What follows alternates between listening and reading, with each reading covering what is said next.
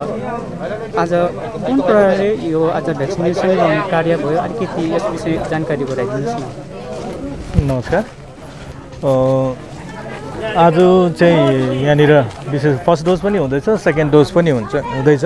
Priority बेसिसको चाहिँ लगभग सकियो आज चाहिँ भनौँ न अब। प्रायोरिटी बेसिसमा जुन प्रकारले उठाइँदै थियो समाजको जिरो टु टुवेल्भ नानी नानीको आमाहरूको प्लस एसएचजी यो जति पनि आइसिडिएस अलग अलग जुन प्रायोरिटी बेसिसको थियो र आज चाहिँ अन्तिम समाजहरूको जिरो टु टुवेल्भ नानीको आमाहरूको पनि हुँदैछ कति रहेकोहरू अस्ति छोडिएकोहरू पनि हुँदैछ र आज जति सक्दो अ, ज्यादा रूपमै हामी गर्ने कोसिस गर्दैछौँ।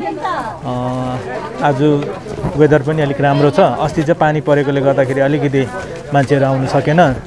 र आज चाहिँ सायद अलिकति वेदर राम्रो भएकोले गर्दाखेरि राम्रै हुन्छ जस्तो छ। र प्रायोरिटी बेसिसको चाहिँ हाम्रो अन्तिम। प्रायोरिटी बेसिसको चाहिँ अब हाम- हाम्रो आजको चाहिँ अन्तिम हो।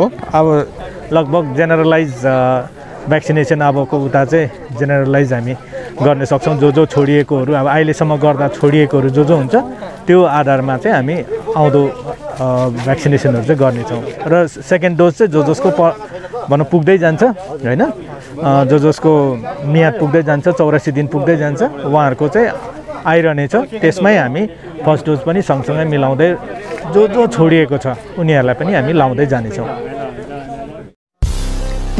के तपाईँ फर्निचर किन्नलाई दोधारमा हुनुहुन्छ?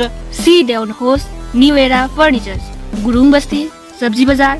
White House building Siliguri plastic wooden अनि स्टिल फर्निचर्सको निम्ति सम्पर्क गर्नुहोस्। एस्टेटन Gurung nine five six four eight two three one zero one eight seven five nine one six one three one seven transportation facility available online payment and payment by swipe available design colour and size can be customize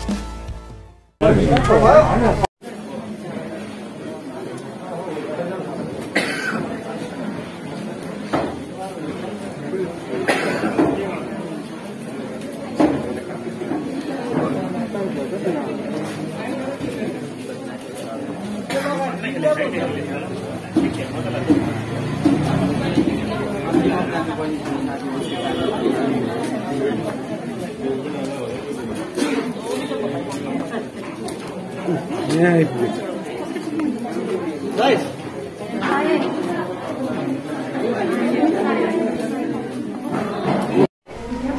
One second, no, no, no, no, no, no,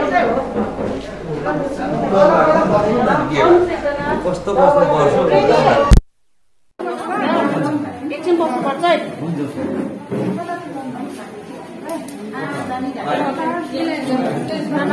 नमार्नु हुँदैन ल। खानु। ओ यहाँ एकछिन rest गर्नुहोस् न ल। जानुहोस्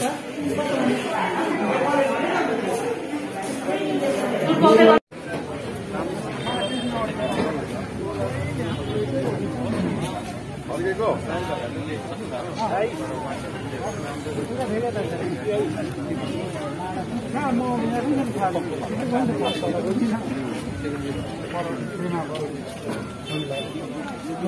के गर्नु हौ बस्ने